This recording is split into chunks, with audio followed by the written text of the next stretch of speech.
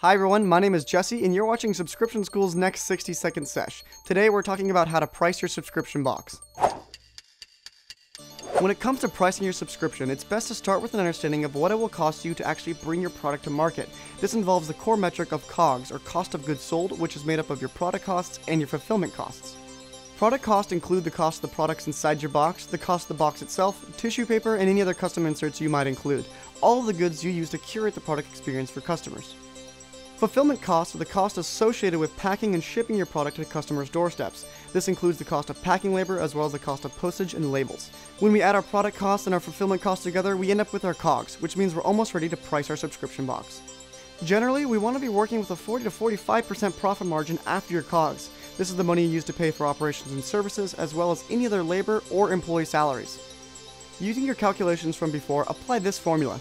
Look at your result and then round up to the nearest 95 cents or rounded number for simplicity. What are you left with?